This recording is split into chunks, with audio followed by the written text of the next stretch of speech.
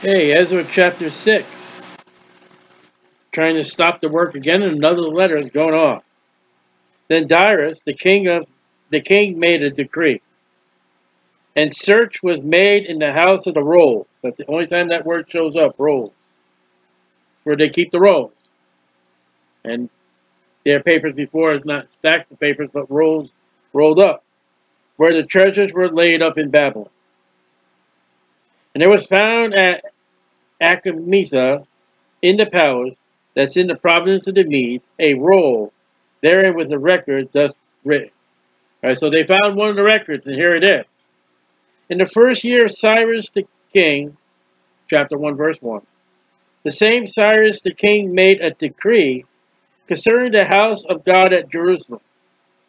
Let the house be builded, the place where they offered sacrifices, and let the foundations thereof be strong, strongly laid, and the height thereof three score cubits, and the breadth thereof three score cubits, with three rows of great stone, and a row of new timber. And let the expenses, well, that's the first time, the only other time that word shows up in verse 8, when we get down there, expenses, be given out of the king's house. So what has been found? A decree went out by Cyrus. He says, listen, go build that temple in Jerusalem for God. This is the size. This is what the building material. And guess what? You're going to pay for it. Now, this is not what the people in chapter 5 were expecting. They were expecting, I'm going to assume that the Jews were lying. And they would be called on their lie. That expenses be given out of the king's house out of Cyrus's house. And also let the golden and silver vessels of the house of God, which Nebuchadnezzar took for out of the temple, which is at Jerusalem, be brought unto Babylon, and be restored. So everything that was that belonged to God in the temple that, that was taken, is now in Babylon. Gather it up and bring it back. Don't keep nothing. and brought again to the temple which is in Jerusalem. Every one to his place, placed them in the house of God. So if they were the dishes for the show table, that's exactly where it goes. Goes to the show table. If it was instruments used for the candlestick, then it belongs to the candlestick. Don't you mix match. So Cyrus is saying, I want the temple of God built. I want exactly way God wanted it. I want how the law prescribes is what he's saying, without mentioning the law. And he's recognizing that God has an orderly fashion for everything. And Cyrus is making, don't make no mistakes. That's what he's saying. All right, so that's what they found. That, that's the decree of Cyrus, verses 3 to 5. That's not what they wanted to find. Now therefore Tatnai, the governor beyond the river, Shetharboznai, and your companions, the Apharsachites, which are beyond the rivers, be ye far from thence. Now, verse 6, the decree of Darius is right into the people that wrote him. Starting the people that Rome said, you know, the Jews are doing this work. He's writing to him and says, you know what? Be far from them. What's he saying? Get away from them. You have no business being over there. That is order. That is a decree by the king. You have no business to be there. Remember earlier they tried to come in and say, well, we like to do the work with you. No, you're not going to do it. Well, you know, they're building the city. No, they're not. Get away from them. Let the work of this house of God alone. No more letters, no more stopping them. Let the governor of the Jews and the elders of the Jews build this house of God in his place. Only Jewish people, don't you guys interfere. Just get away from the Jews. Get away from them. Now, this is not Cyrus, this is Darius. And he's had it with the enemies of the Jews. Moreover, I make a decree. Verse 6 is a decree in order to those specific. But here's another decree, a new one. We read the decree of Cyrus, now here's the decree of Darius. I make a decree what ye shall do, you enemy.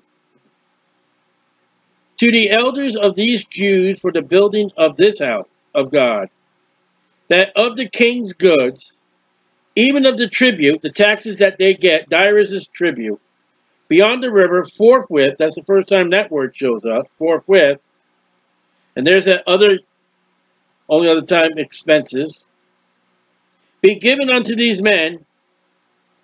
So what I collect from taxes of the neighboring areas, because tribute is a tax on the people in the land, you can stay there, but we're going to make you pay. Darius says, you take that money and give it to the Jews to build. Now, is that what the enemies of, of God's people wanted? Absolutely not. They wanted to shut the whole system down. And they're reading this letter. We're to give them more money? Yes. Be given unto these men that they be not hindered. That's the first time that word shows up. Don't stop, don't halt, don't hinder them. Don't press their time. Leave them alone. That's what he's saying. And that which they have need of, both young bullocks and rams and lambs, for burnt offerings of the God of heaven. Darius wouldn't be too good in America today because he's not the God of evolution. Darius, this heathen, says God made heaven and earth. Wheat, salt, wine, and oil, according to the appointment of the priests, which are at Jerusalem. Let it be given them day by day without fail. Give the priests their due for sacrifices and for their own needs, their own eating and drinking. He is now also, not only do you build that temple, but I allow you to do the sacrifices. I allow the priests to do what they need to do, and I allow the priests to make a living off that. This is the decree, verse 8 that they may offer, I mean, yeah, offer sacrifices, sweet savors unto the God, capital G, of heaven, and pray for the life of the king and his sons. That's kind of interesting because Darius has faith in God. He doesn't say pray to GODSs. He didn't say go to the groves. He says that God, capital G, that made the heavens. And not only that he made the heavens, but he's in the heavens. People, please, pray for me when you're doing what you're doing.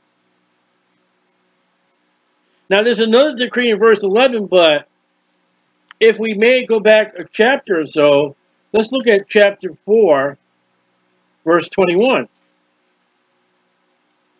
we'll see a little note that God made, verse 4, chapter 4, 21. Give me now commandment to cause these men to cease, and that this city be not builded, unto another commandment shall be given from me. What's another commandment? Build, build, leave them alone. You see that little side note in there? Unto another commandment? Here it is, chapter 6. The other commandment says, build, build, leave them alone. There's nothing stopping these Jews, the Hebrews, from doing the work of God now. We're not done. Another decree, verse 11. I have made a decree, and that's a law, that whosoever shall alter this word. That's what God says about his words. If anybody changes this, this word, this decree, this law, what? You protect those Jews, you take care of those Jews, you let the Jews build, you let the Jews do what they need to do. If you alter this, let timber be pulled down from his house and be set up. Let him be hanged therein. Now, we're going to see a story like that in Esther with Haman. I mean, he doesn't tear his house down, but he builds gallows in the middle of his house or courtyard. And Darius says, listen, you're going to offend those Jews? I'm going to take your house. I'm going to build you gallows. I'm going to hang you on your property so all the people can see don't mess with those Jews. Now, when we look at what God told Abraham, Isaac, and Jacob, I will bless them that bless you. What do you think Darius is going to get? He's going to get a blessing. Let him hang therein, let his house be made a dunghill for this. A sewer place. A place to put doo-doo. There's another word I'm thinking, see. I mean, that, that expression to be filled up, see, comes out of the Bible. You know what happens when your house becomes a dunghill? It becomes stinky. It becomes vile. Your neighbors are not going to be too happy with your family. You know, they weren't too happy with Haman in the middle of the night building these gallows. When we get to that, I, I did that Sunday school. Here's the middle of the night and they're hammering and sawing and all that. And the God, capital G, that has caused his name to dwell there, destroy all kings and people. That's prophecy of the second advent by Darius. Because when is God going to destroy all people? At the second advent. Jesus Christ. There's prophecy. Christ did not destroy anybody's first advent. Of fact, they could not die around Jesus. Every time they came to Jesus, someone was dead, up from the grave that person rose. And they went back to death. But you have a Gentile Darius king making a decree of blessing those Jews, and he says the second advent, verse 12. Put 6 and 12 together, we get 666. 12 plus 6 plus 6 is 12. That shall put to uh, that shall put to their land to alter and to destroy this house of God which is in Jerusalem. You protect the Jews and you, repect, uh, and you, and you protect that temple. If not, may God destroy you. You know who destroyed the, the final temple? The, the, uh, the Romans.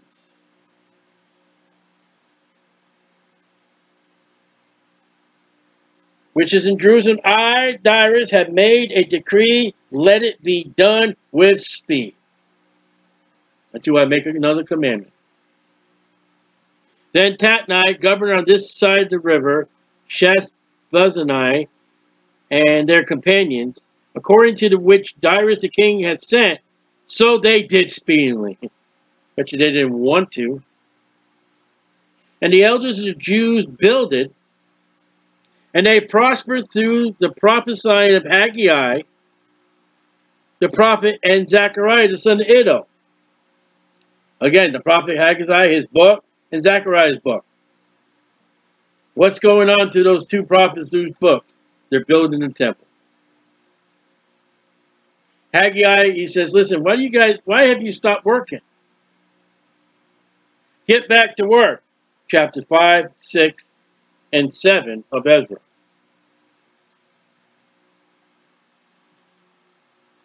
And they built it and finished it According to the commandment of God of Israel, I thought it was Darius. I thought it was Cyrus. Has nothing to do with him. God was using those two men. But God said the 70 years are up. Go back and build. I'll let the government help you. We have a great God that can control the governments. Satan offered Jesus, oh, if you fall down and worship me, I'll show you the moments of government in time, a moment of time. Yeah, we've gone through three kings so far. We've gone through Cyrus, uh, Artaxerxes, Darius, and and uh, yeah, and build and finish it according to the commandment of the Lord of God of Israel, and according to the commandment of Cyrus and Darius and Artaxerxes, kings of Persia. So God allowed these kings; these kings allowed God to do what needed to be done. Pharaoh did not. God didn't force nobody. Pharaoh of Exodus could have done the same thing of Cyrus and Darius, but his heart was hardened. And this house was finished on the third day of the month Adar, which was the sixth year of the reign of Darius the king. That would be approximately our March. And the children of Israel, the priests and the Levites, and the rest of the children of captivity, kept the dedication of the house of God with joy. It's finished. Remember, they already had a big joy when the foundation was laid. Now they got a joy, it's done. Foundations laid, great. People are crying. People are happy because those that remember the temple, oh man, this is how wonderful it was, how terrible we were. And the people rejoicing, hey, we got the foundation. Now it's all built. And offered at the dedication of this house of God, a hundred bullocks, two hundred rams, four hundred lambs, and for a sin offering, look at them acknowledging their sin. For all Israel. Now they're announcing their sin. Now people say that Mary was not sin, had no sin, and yet she brought the sin offering prescribed in Leviticus 12. And the Old Testament, when you brought a sin offering to the altar, you were telling God and the priest that was taking it, hey, I'm a sinner. The nation has sinned. Twelve he goats, according to the numbers of the tribe of Israel. And they set the priests in their divisions, their offices, and the Levites in their courses for the service of God, which is at Jerusalem, as is written in the book of Moses. They obeyed the word, they obeyed the law.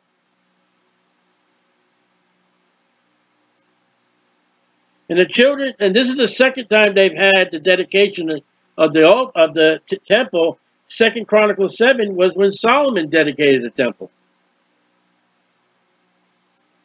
Their sin destroyed the temple.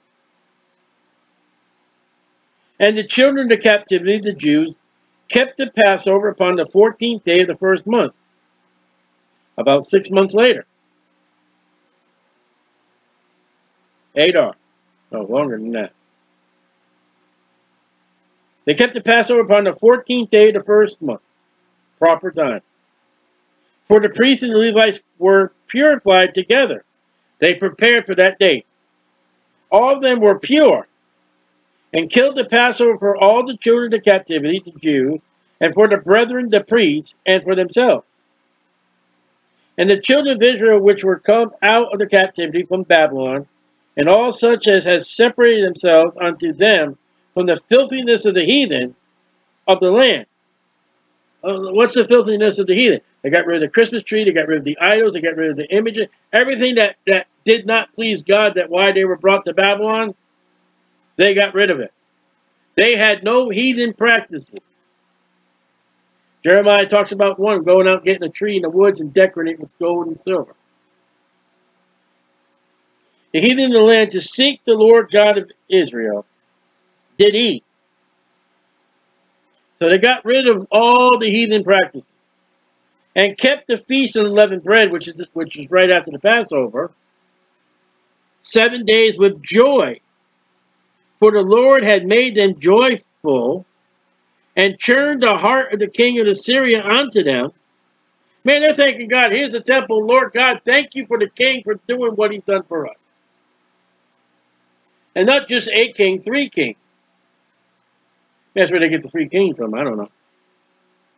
And strengthened their hands in the work that they finished of the house of God, the God of Israel. So they've given God the credit. God has controlled the government for us to do it. The temple is finished. We have taken part of two feast days in our calendar that our Father's talking about. And Lord God, not only that, you gave us the ability, you had us helped us to build that temple we just built. All glory gives to God. That's what they're doing.